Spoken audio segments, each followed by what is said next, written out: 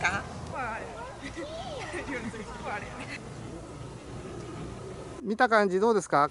めっちゃ綺麗ですえーモネの絵なんですけれどもオランダのチューリップ畑という絵がありますのでそちらの方をモチーフにしました。今年は全部で3万4000本植えてあります。真っ赤な色だけではなくていろんな暖色系赤の中でもオレンジとか黄色とかを合わせながらちょっと赤の村を作っています。